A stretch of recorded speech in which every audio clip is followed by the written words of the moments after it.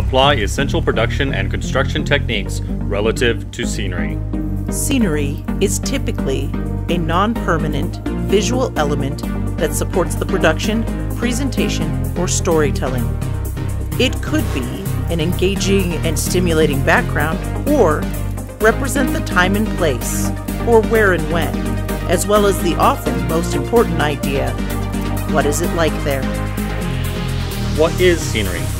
Scenery for live performance might be anything a historic representation of Times Square or a bus stop, a massive video wall or a single folding chair. What we will learn. In production technology, we will learn the elements of the scenic build and run crews.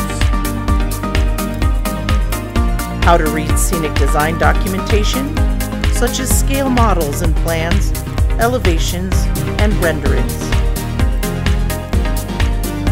Application and dimensions of common scenic building materials like lumber, plastics, foam, fabric, and metals. The tools for scenic construction in various medias with a focus on wood and metal. The techniques of planning, building, finishing, and painting scenic elements for live performance. And how to stay safe and keep others safe in the shop and during load in, strike, and production. Something to think about.